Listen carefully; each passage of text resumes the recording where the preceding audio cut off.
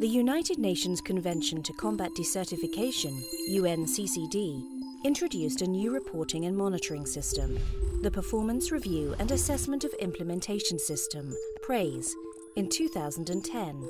This is an innovative, evidence based decision making tool which involves the use of indicators, online reporting, qualitative and quantitative assessments, allowing tracking progress towards quantifiable objectives and timeframes. Since 2010, 193 parties can use the new PRAIS system to report on performance indicators to track progress against a set of five operational objectives. In 2011, 11 countries piloted impact indicators to track progress against the strategic objectives of the Convention. Important lessons were learned from this first application, helping to revise the reporting templates and inform the process. The results from the first round of quantitative reporting established a baseline against which future reports can be assessed.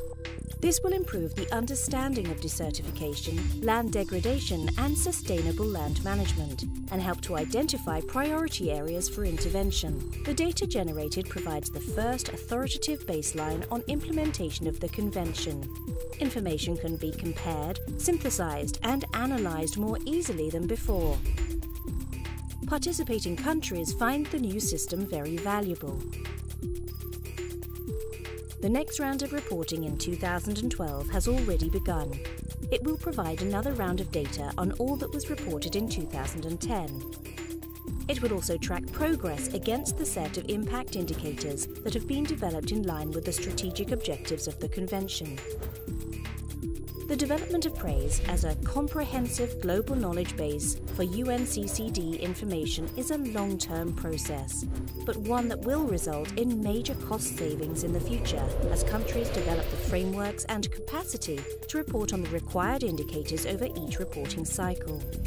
Through PRAIS, we can improve the evidence base needed to understand and address issues relating to desertification, land degradation, and drought. This will help increase awareness and mobilize resources to fight the devastating consequences of these issues. Achieving this will help make a lasting contribution towards sustainable development and improve the livelihoods of those living in affected areas. The system is already working, thanks to the efforts of all partners and stakeholders. Learning together, working together for a sustainable future.